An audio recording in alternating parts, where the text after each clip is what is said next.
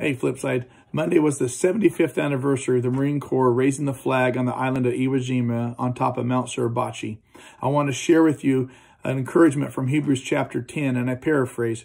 Remember those earlier days when you endured a great conflict full of suffering. Sometimes you were in pain and suffering. At other times you stood side by side with those who were in pain and suffering. You suffered and you joyfully accepted that suffering. Why?